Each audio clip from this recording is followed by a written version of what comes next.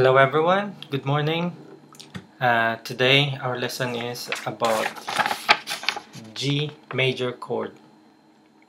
So that's the shape. Number one finger um, on fifth string, second fret.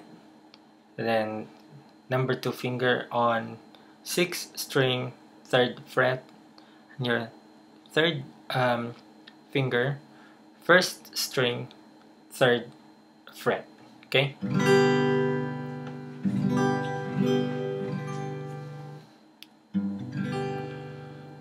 There's another variation to this chord which is using your pinky, putting it on uh, first string, third fret, and then this one that one retains the same position. So you added your pinky and at the same time you put one here. Okay. I remember when I was learning the guitar it's difficult for me uh, to do this chord or even this one. The G uh, shape. So what I did was I used this my thumb for the G bass and then my uh, pointing finger on the higher G um, note. So this is how I do it. Others would shortcut it with just one finger. Or you can do this one but instead of pressing your ring finger you can lift it up and just press these two fingers. Um, as long as you're strumming or plucking the top bit the top set of strings. So it's still um, a G because um, the notes are there. G B D. Those are the triads for your uh, G chord so if you strum or pluck these three strings it will still sound G. So G B D is your open D and then this is G again. So you, you can even include that one. And if you intend to play G like this you have to strum from this one fourth string because that's a D. This is G. This is B. And this is G again. So that's G. Or without pressing anything because uh, D G and B. Those are the triads again for G. So if you, if you pluck or strum these three strings it will make a sound of a G chord.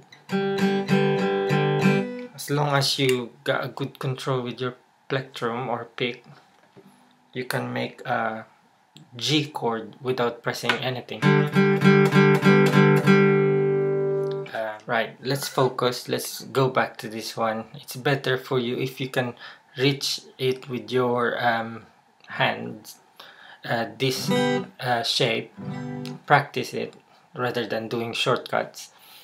Uh, the other way to do it if you get small hand um, is to buy a small guitar uh, half size or three quarters so that it's easy for you. Um, so G and then the strumming uh, try and uh, find a strumming pattern that um, is easy for you. Start with just the downstroke one.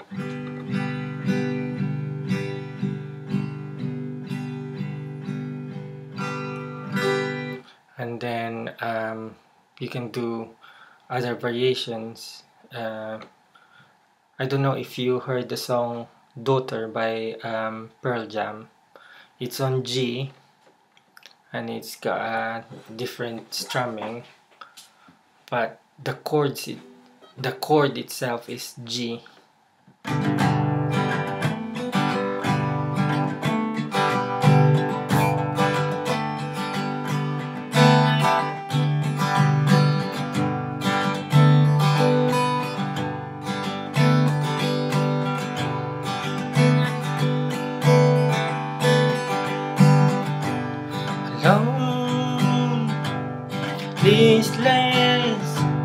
breakfast table in otherwise empty room. So yeah it's on G.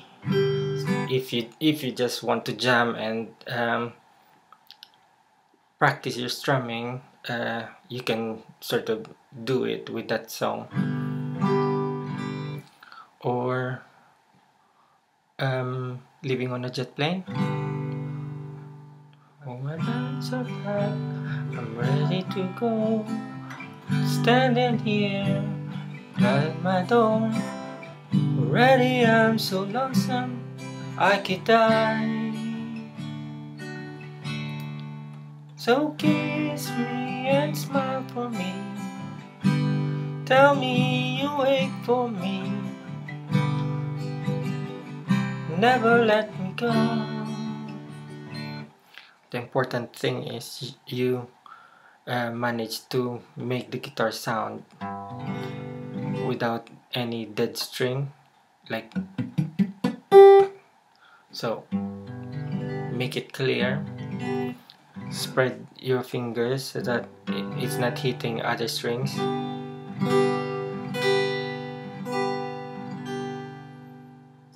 Okay. See you soon Bye for now.